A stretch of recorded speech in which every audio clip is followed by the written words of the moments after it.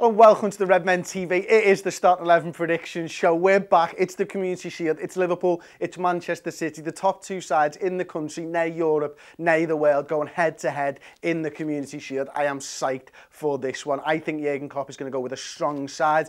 Uh, we've listened. We did a full year in front of the television. Lads, the Magnets, they're back in goal. Alisson Becker have that. The beautiful bearded one, three Golden Glove winning Alisson Becker in net have that. Thank you very much. Andy Robertson, I believe, is going to be the player that starts at left back in this one. Of course, it's going to be Virgil van Dijk. We're playing our biggest rivals. Virgil will be in there alongside, controversially, I think that it's going to be Joel Matip. I think we've seen this pre-season that Matip and van Dijk are going to pick up where they left off and alongside them on the right-hand side, young Trent Alexander-Arnold. And how long can I get away with saying that for? So, in the centre of midfield, we've got Fabinho. It's him, it's the Brazilian. He's played loads during pre-season. We've had him since the start. He is going to be there. I think it's going to be Genie Wijnaldum. Now, the conundrum for me was, is it Genie Wijnaldum? Is it James Milner?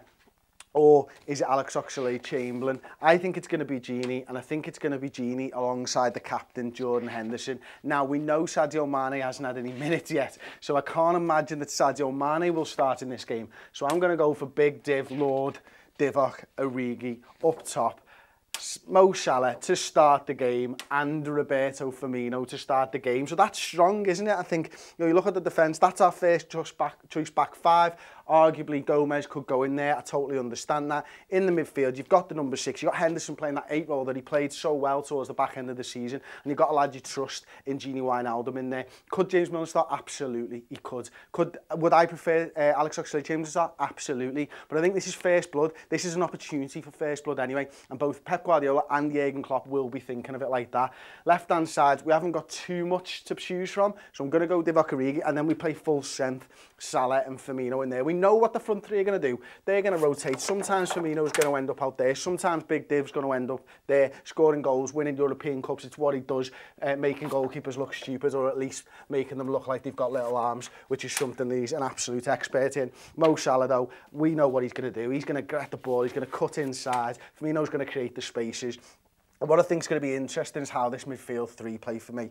You know, Jurgen Klopp spoke to us the other week. Uh, if you've not seen that, go and check that one out, redmentv.com. 23-minute interview with the boss. It was brilliant, trust me. Um, and he spoke about being a little bit more unpredictable. So are we going to see more goals from these two positions? A, a team's going to focus on Robertson and Trent Alexander-Arnold. Are we going to see more goals? But what I want to see in this game, right, is a more fluid midfield three. We've seen it from the front three for two years now, so bear with me. Sometimes I think the press is going to come from Fabinho from deep. I think he's going to be the man sometimes to come in like that, and then the midfield rotates, and then in a passage of play, you might end up like that. It's why I think Klopp wants versatility. It's why I think he's happy to see Adam Lallana in that six. Gini's played there, Hendo's played there. Being unpredictable, pressing from situations where teams aren't going to see you press from. That's what I think Liverpool will look to do this year. That's how this Liverpool Side evolves. Let me know your starting 11s in the comment section below. Don't forget to subscribe to the Redmen TV on YouTube. Drop the video a like. We'll be here, of course, on the day of the Charity Shield. We'll be down there. I hope to see you after the game. Nice one for watching. See you next time. ta.